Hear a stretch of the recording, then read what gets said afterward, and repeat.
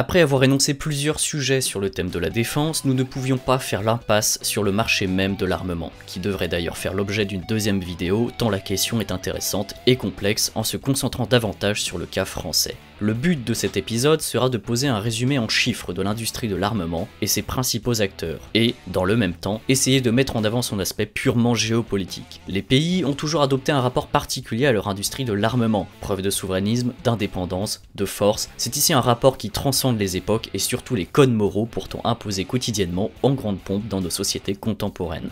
Commençons par un bref aperçu du côté de l'offre dans le marché de l'armement sur la période 2014-2018. Dans ce marché particulier, les États-Unis sont en haut du podium. Le pays absorbe 36% du marché mondial et compte 42 entreprises dans le top 100 des géants de l'armement comme Lockheed Martin, Boeing, Raytheon, General Dynamics, Northrop Grumman, etc. Ses principaux clients sont l'Arabie Saoudite à 22%, l'Australie 7% et les Émirats Arabes Unis en deuxième position se trouve la Russie qui absorbe 21% du marché, une deuxième position renforcée par son programme de modernisation de ses forces et l'exportation, mais aussi la qualité de sa diplomatie.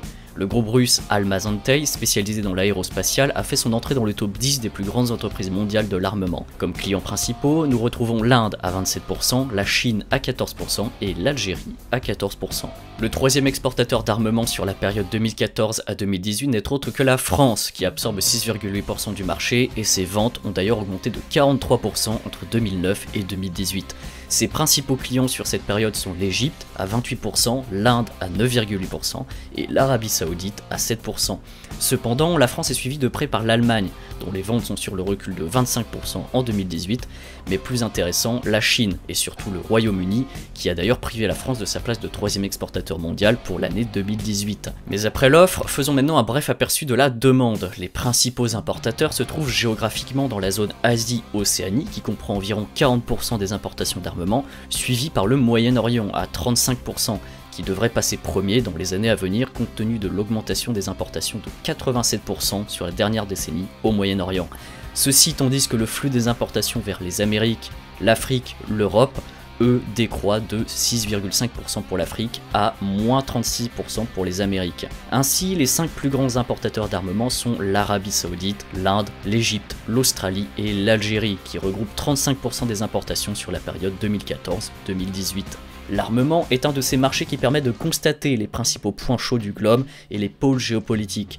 Là où l'Amérique du Sud et l'Afrique dominaient le marché de l'importation d'armement pendant la guerre froide et étaient au cœur des enjeux et conflits d'intérêts, c'est maintenant le Moyen-Orient et l'Asie-Océanie qui forment la demande principale. Mais le plus intéressant pour commencer à dessiner un spectre géopolitique est de tracer et mesurer les liens entre les pays exportateurs et les pays importateurs. En prenant les 10 premiers pays importateurs, les faits apparaissent d'eux-mêmes. Le marché de l'armement est directement indexé sur la politique internationale d'un pays, et en allant plus loin, permet même de discerner certaines alliances. Mais la concurrence entre les industries de l'armement est rude, et c'est la diplomatie du plus fort qui l'emporte, en plus des alliances et négociations traditionnelles entre pays selon leurs rapports. Ainsi, l'Arabie Saoudite importe 68% de matériel américain, l'Australie 60%, les Émirats Arabes Unis 64%, l'Irak 47% et la Corée du Sud 51%. 78% des importations d'armement du Vietnam sont issues de la Russie, 70% pour la Chine, 66% pour l'Algérie et 58% pour l'Inde.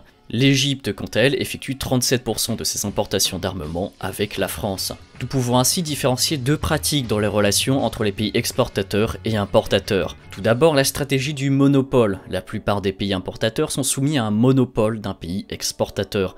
L'objectif de l'exportateur est littéralement de submerger le pays importateur de son armement pour priver tout espoir à la concurrence de s'installer durablement et au mieux lui laisser une part contrôlée du gâteau, comme le font par exemple les États-Unis avec la France. Dans le cadre d'une politique d'influence globale, l'industrie de l'armement n'est qu'un des nombreux outils en plus pour son influence dans le pays cible. Vendre de l'armement, c'est vendre une part de son influence, forger des liens profonds entre l'exportateur et l'importateur, développer une coopération des échanges entre les armées des deux pays, accroître les relations diplomatiques sur ces bases, puis justifier cette relation pour vendre plus d'armement, pour ensuite renforcer la coopération, etc. Si suffisamment contrôlé et intelligemment manié, comme le font les États-Unis et dans une moindre mesure la Russie, l'industrie de l'armement est un des leviers qui dessert la sphère d'influence du pays exportateur. C'est d'autant plus vérifiable pour les puissances intermédiaires qui importent à une puissance majeure. L'Arabie Saoudite, l'Inde, l'Australie, l'Algérie, la Chine, les Émirats Arabes Unis, l'Irak, la Corée du Sud, le Vietnam, le Pakistan, la Turquie, le Qatar, Israël, etc. sont des pays largement maîtrisés par l'importation américaine qui représente environ 100% des importations à Taïwan, 95% des importations au Japon et 87% des importations au Koweït. Nous retrouvons également une sphère d'importation russe qui représente 84% des importations au Kazakhstan, 66% des importations en Algérie, 70% des importations en Chine et 78% des importations au Vietnam. La Chine, qui est aussi une puissance exportatrice, semble avoir adopté la stratégie du monopole où elle représente 70% des importations d'armement au Bangladesh et au Pakistan et 61% au Myanmar. Ici, la logique de ceinturer le rival indien est bien visible. Ce que nous appelons la stratégie du monopole découle directement d'une volonté politico-diplomatique. L'offre et la demande ne sont pas uniquement en synergie suivant les lois libérales d'un marché, elles le sont pour des motifs diplomatiques et politiques. L'exportateur et l'importateur trouvent généralement un terrain d'entente commun sur les questions internationales. Dernière partie de cette vidéo, nous trouvons ensuite la stratégie de la niche. D'autres pays comme l'Égypte, l'Indonésie, Oman, la Thaïlande, la Jordanie, le Brésil ou encore par exemple la Pologne demeurent des pays où le marché n'a pas encore été suffisamment monopolisé par un exportateur. Ces pays sont visés notamment par la France, qui vise notamment l'Égypte et le Brésil, ou encore le Royaume-Uni du côté de l'Indonésie et d'Oman. Le but n'est pas ici de submerger le marché avec son armement, mais de profiter de l'absence d'un monopole pour se greffer à la demande du pays et dominer le marché au moins temporairement. La concurrence des États-Unis ou de la Russie n'étant jamais très loin. La Russie n'exporte que 7% de moins que la France en Égypte. Le Royaume-Uni ne distance les États-Unis que d'un pour cent en Indonésie. Il est aussi tout à fait possible de prendre des parts de marché dans un secteur spécialisé où l'exportateur a fait ses preuves. Pour la France, Dassault et Naval Group ont l'expérience et l'influence suffisante pour s'imposer sur des marchés saturés par un monopole en proposant l'exception française. Les meilleurs exemples étant par exemple le contrat des 12 sous marin signé avec l'Australie par Naval Group, ou encore les 300 blindés Sherpa de Renault Trucks Defense, vendus au Cowent, qui exporte pourtant 87% d'armement américain. Pour l'importateur aussi, l'achat d'armes a un enjeu politique en interne comme en externe. Pendant la guerre froide, acheter français ou anglais revenait à écarter le bipartisme idéologique imposé par les États-Unis et l'URSS. Le but pour l'importateur est aujourd'hui davantage de limiter sa dépendance à un exportateur trop monopolisant.